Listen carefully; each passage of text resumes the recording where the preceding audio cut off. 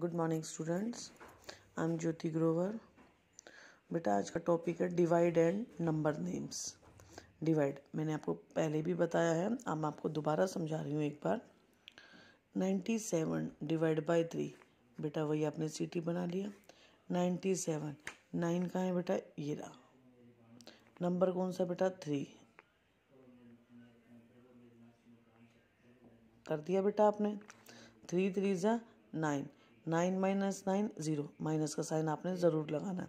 आपने सेवन ऊपर से ले लिया। अब सेवन तो इसमें कहीं पे नहीं आ रहा। आपने सेवन से छोटा देखना है। क्या आ रहा है बेटा? सिक्स। थ्री टू जा, सिक्स। माइनस का sign, seven minus six, one. जो वन है आपका, ये क्या है बेटा? रिमाइंडर है। ज़रूरी नहीं है कि पूरा का पूरा ही जाए।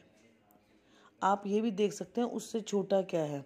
अगर यहाँ पे सिक्स होता तो six minus six zero reminder आ जाता। अगर सेवन दे रखा है तो सेवन से अपने छोटा देखना है। सेवन से छोटा कौन सा? सिक्स माइनस वन आ जाएगा। वन क्या आ गया आपका रिमाइंडर है। सेकंड टॉपिक दिया था मैंने आपको बेटा नंबर्स ने। थ्री हंड्रेड सेवेंटी सिक्स सबसे पहले आपने लिखना है वंस टेंस हंड्रेड जब हम ये लिख लेते हैं तो हमारी मिस्टेक नहीं होती। थ्री थ्री के ऊपर क्या है? हंड्रेड तो आपने क्या लिखा? Three hundred seven six one tens one tens क्या होते हैं दोनों भाई।